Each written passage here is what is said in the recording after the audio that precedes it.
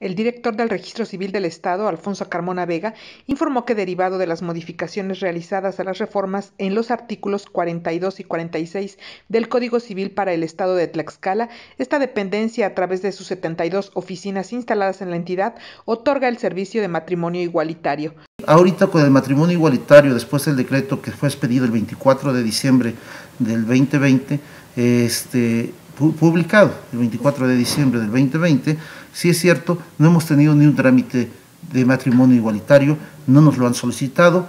por otro lado, el funcionario estatal detalló que durante 2020 la Coordinación del Registro Civil del Estado realizó un total de 19.929 registros de nacimiento como parte de los servicios que brinda a la ciudadanía con la finalidad de garantizar el derecho a la identidad y otorgar certeza legal. Además, se tramitaron un total de 11.566 actas de defunciones por distintos motivos, así como 12 cambios de género.